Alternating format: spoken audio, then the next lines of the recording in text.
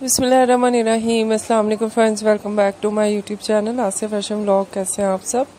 इंशाल्लाह ठीक होंगे और बहुत ही खुश होंगे, अल्लाह ताला के करम से। अल्लाह ताला आपकी तमाम मुश्किल तमाम परेशानियाँ बहुत जल्द ख़त्म फरमाए और आप बहुत खुश रहें, आबाद रहें। फ्रेंड्स, मैं हूँ आसिया और आपके लिए लेके आई हूँ बहुत ही प्यारी कलेक्शन साइड बिंदिया। झूमर भी बोलते हैं इसको पासा भी बोलते हैं। इसमें आपको ज़्यादा जो कलेक्शन नज़र आएगी वो ब्राइडल की है ब्राइडल झूमर की। लेकिन गर्ल्स के लिए भी बहुत ही प्यारे जो आइडियाज़ हैं वो आपको नज़र आएँगे। और गर्ल्स लगाती हैं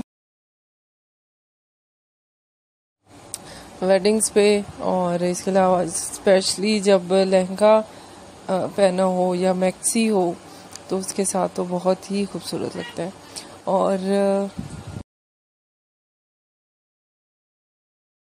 ब्राइडल में ये है कि ब्राइडल जो एंगेजमेंट ब्राइडल है, उसका अगर हेयर स्टाइल जो है वो खुले बालों का है तो उसको सिर्फ़ सिर्फ़ जो साइड बिंदिया है मतलब बिंदिया नहीं, सिर्फ़ साइड बिंदिया है, वो बहुत खूबसूरत लगती है। इसमें शायद कोई पिक ऐसी नज़र आ जाए, फिर मैं आपको मेंशन करवाऊँगी बताऊँगी कि ये आइडिया मैं कह रही हूँ।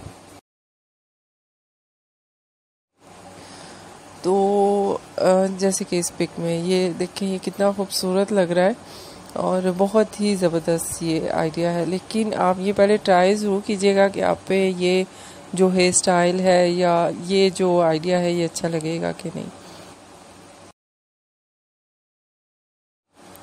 एंड uh, बिल्कुल लेटेस्ट इसमें जो ज्वेलरी के डिज़ाइन है वो आप देखेंगे। बाकी भी झूमर के साथ जो ज्वेलरी है वो मैच ही होती है तकरीबन। एक तो ट्रेंड जो आजकल चल रहा है वो ओल्ड ज्वेलरी जो है जो पुराने डिज़ाइन है जो सिर्फ़ गोल्ड के होते थे डिज़ाइन वो उनका ट्रेंड चल रहा है। और इसके अलावा जो लटकन में होते हैं स्टोन्स थोड़े बड़े साइज़ में वो मैचिंग में भी हो सकते हैं। एंड इसके अलावा कंट्रास्ट में भी बहुत खूबसूरत लगते हैं। पूरे जो ज्वेलरी सेट है उसमें।